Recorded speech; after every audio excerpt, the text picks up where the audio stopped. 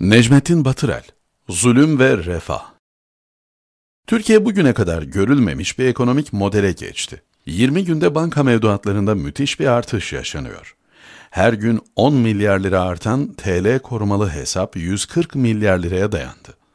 Türk lirası değer kazanıyor. 5 yıllık risk primi 621'den 542'ye geriledi. Otellerde rezervasyonların %70'i şimdiden doldu. Organize sanayi bölgelerinde işletme alanı kalmadı. 2022 yılında 3134 projeyle 184.3 milyar liralık yatırım gerçekleşecek. Peki uluslararası medya bu sistemi nasıl görüyor? Tek tek topladım, bakın ortaya nasıl bir tablo çıktı. IMF eski başkan yardımcısı Kruger, Erdoğan teorilerini ısrarla uygulamayı sürdürürse, Türkiye ekonomisinin görünümü daha da kararacak. İngiliz Financial Times Cumhurbaşkanı Erdoğan artan enflasyonla ekonomiyi yönetememesi önceki yıllardan olmadığı kadar zayıf görünmesine yol açıyor. Washington Post Erdoğan'ın düşük faizle ilgili açıklamaları ve hamleleri oy oranını azalttığı bilimsel bir araştırmayla ortaya kondu. Time dergisi İşsizlik ve enflasyon yüksek, TL zayıf ve kırılgan fakat Erdoğan geleneksel ekonomi yönetimini reddediyor. Capital Economics Son 10 yılda Türkiye'nin temel direği olarak kabul edilen kamu maliyesi şimdi çökme riskiyle karşı karşıya. The Economist, yeni kur korumalı mevduat hesabı Türkiye ekonomisini düzlüğe çıkarmaya yetmeyecek. Foreign Policy, 2022'de kötüleşmesi beklenen ekonomi Erdoğan'ı erken seçime zorlayabilir. Yabancı medya neden bu tavır içine girdi? Bir defa hükümet faizleri 4 ayda 500 baz puan indirerek sıcak para baronlarının suyunu kesti. %11 ile dünyanın en hızlı büyüyen ülkesi ünvanını ele geçirdi savunma sanayinde devrim gerçekleştirdi. Bugün Türkiye'yi hiçbir devletin sahip olmadığı 3 sondaj ve sismik araştırma gemisine kavuşturdu. Libya'da, Suriye'de, Kafkasya'da ve Orta Doğu'da bölgesel güç haline getirdi. Mısır, İsrail ve Suudi Arabistan'la yeni sayfa açtı. Ermenistan 13 yıl aradan sonra Ankara ile normalleşmek zorunda kaldı. Avrupa Birliği Türkiye ile ilişkileri güçlendirmek için büyük adım attı. Amerika da buna dahil oldu. Amerika'daki ara seçimleri büyük ihtimalle cumhuriyetçiler kazanacak, senato ve kongrede demokratların zayıflaması Ankara'nın elini güçlendirecek. Biden bu yüzden ilişkileri yumuşattı. Rusya ile yakınlaşmamızı istemeyen Pentagon'dan Türkiye'ye 80 F-35 uçağı satma girişimi var. Halkbank davasında istinaf mahkemesi bankanın yüksek mahkemeye başvuru hakkını kullanabilmesi için federal mahkemedeki yargılama sürecini askıya aldı. Birleşik Arap Emirlikleri ile Şubat ayında 20 milyar dolarlık yeni bir dev anlaşmaya imza atılacak. İşte bu yüzden uluslararası medya, azılı düşmanlarımız sürekli hükümet aleyhinde yayın yapıyor. Tek bir hedefleri var. Cumhurbaşkanı Erdoğan'ı ülkeyi kötü yönetiyor algısıyla halkın gözünde küçük düşürerek seçimleri kaybetmesini sağlamak. Böylece Türkiye'yi krize sokacaklar, kendilerine muhtaç hale getirecekler. Erdoğan kadar kafanıza taş düşsün emi. Sonuç, bu aç tavukların rüyası bizim için kesin ölçüdür alınan kararları beğenmiyor, onları sürekli eleştiriyor, yerden yere vuruyor, ülkenin battığını söylüyorlarsa, bilin ki Türkiye doğru kararlarla, doğru yolda hızla ilerlemektedir. Çünkü düşman neyi methediyorsa bizim için zulüm, neyi yerin dibine batırıyorsa bizim için refahtır, nokta. Necmettin Batırel, Türkiye Necmettin Batırel Koş Türkiye'm, kim tutar seni? Türk ekonomisi çağ atlıyor. Sanayide ithal ham maddeye bağlılık oranı hızla azalıyor. Kurda ensen niye kalın demişler. Kendi işimi kendim görürüm demiş.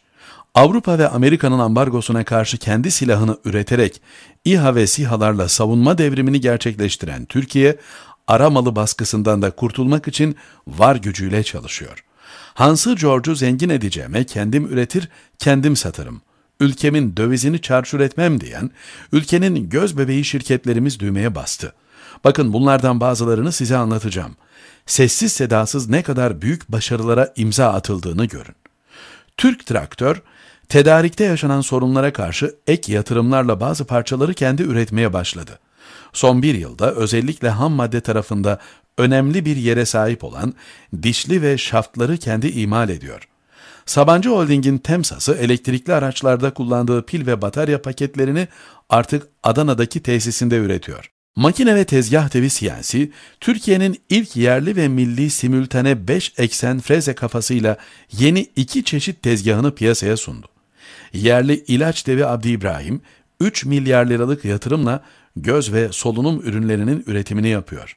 Durmazlar makine, ağır sanayi, otomotiv, havacılık, beyaz eşya üretimi gibi birçok pazarda kullanılan, insan vücudundaki damarlara takılan ve daralmaları önleyen kardiyovasküler stentlerin üretiminde kullanılan lazer teknolojisini millileştirme hareketi başlattı. Türkiye'nin kendi teknolojisiyle 4G kullanan ilk 4 ülkeden biri olmasına aracılık eden ve yerli 5G'ye giden yolu döşeyen NETAŞ, ülkemize 4 milyar dolarlık tasarruf sağladı. Dalga kıran şirketi Türkiye'de üretilen en büyük kapasiteli 2500 HP gücünde turbo kompresörünü yaptı. Türkiye'nin en büyük lastik üreticisi Petlas, %100 yerli sanayicisi olarak hizmet veriyor. Kipaş Söke'de en son teknolojiyle donatılmış olan Avrupa'nın en büyük kağıt fabrikasını kurdu. Yılda 730 bin ton kağıt üretimi yapılarak 300 milyon dolarlık ithalat engellenecek. Tekfen Holding yerli susam üretiminde 200 milyon dolarlık kaynak aktardı. SolarCol, enerji tasarrufu sağlayan yerli inverter üretimiyle 80 milyon dolarlık ithalatın önüne geçiyor.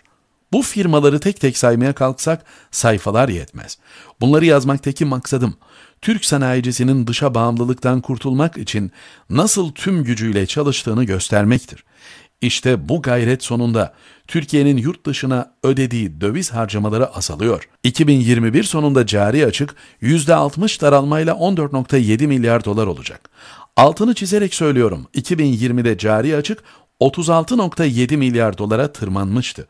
Çalıştık, ürettik, sattık, ülkemize bir yılda tam 22 milyar dolar kazandırdık. Ekonomik devrim böyle gerçekleşir. Çok önemli not. Özel bankalar döviz cinsi mevduatlarının %10'unu 21 Ocağı, %20'sini ise 18 Mart'a kadar Türk lirasına çevirmek zorunda. Demek oluyor ki bankaların 120 milyar dolarlık toplam mevduatının 12 milyar doları 21 Ocağı kadar, geriye kalan 28 milyar doları ise 18 Mart'a kadar bozdurulacak. Bu durumda Türk lirası büyük değer kazanacak, enflasyon düşecek, faiz köpüğü alınacak. Yazın bir tarafa. Dolar Mart sonunda 9,5 liradır. Dövizleri bugünden satın kurtulun yoksa altında kalacaksınız. Koş Türkiye'm koş. Kim tutar seni? Necmettin Batırel, Türkiye Erkan Tan Muhalefet milletin geri kalanıyla savaşıyor.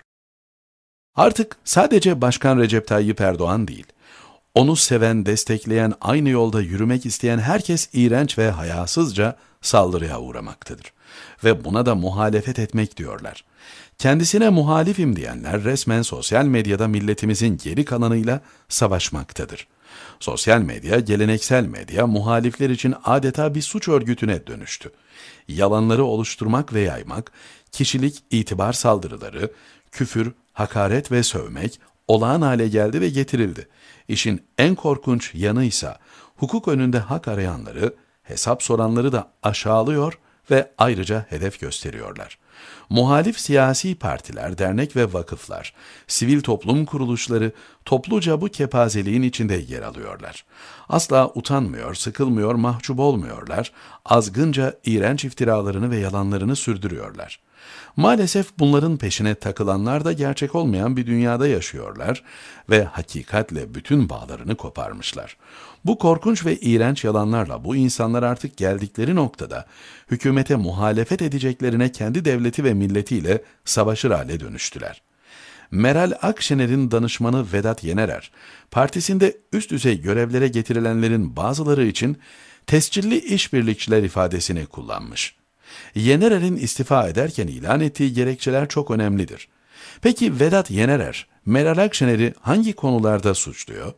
Atatürk düşmanlarının, etnik bölücülerin, APO'ya ev hapsi olsun ya da Ege'de Yunan işgali yoktur, hepsi Yunan adası diyen tescilli işbirlikçilerin tekrar tekrar üst düzey görevlere getirildiğini içim acıyarak gördüm ve yaşadım.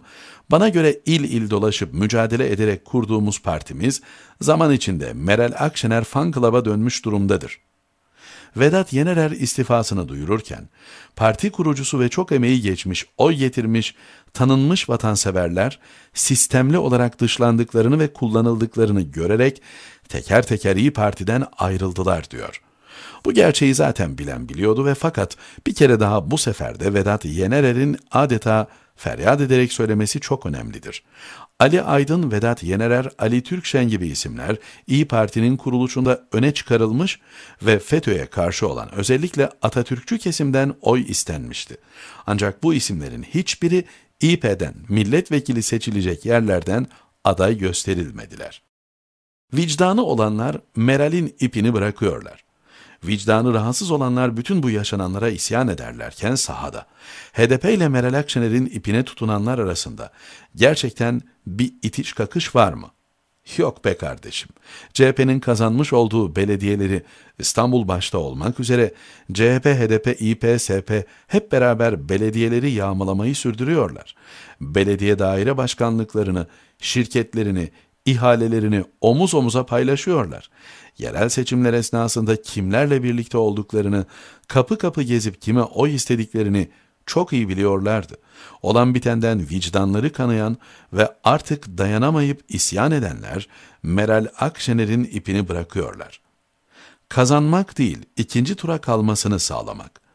Recep Tayyip Erdoğan, Devlet Bahçeli birlikteliğini yıkmak için bir ve beraber olmaya devam ediyorlar muhalefetin yeni adresleri olan Ahmet Davutoğlu ve Ali Babacan'ın partilerinin proje, hizmet, icraat, milletin derdi falan umurlarında bile değil. AK Parti'den oy kopartmaktan başka bir amaçları yok. Meral Akşener'in partisiyle HDP arasında gerginlik varmış gibi yaparak milliyetçi oyları MHP'den çalma gayreti devam ediyor. Bir tarafta Cumhur İttifakı, AK Parti, MHP, BBP başka kimler katılacaksa yer alacak, karşı tarafta ise bir kenarda CHP-HDP ittifakı yer alacak. Çünkü CHP-HDP ile bir olan Meral Akşener'in partisine ülkücüler oy vermek konusunda isteksizler. Erkan Tan, Takvim